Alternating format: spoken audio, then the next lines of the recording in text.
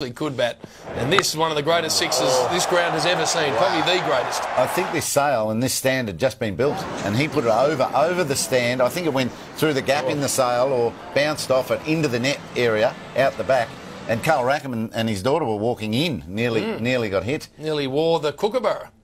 But what that. about the sound off the back? Oh, there a great shot. And I guess it's the consistency of this Gabba pitch. 143 metres, Yeah, in no, it was a monster.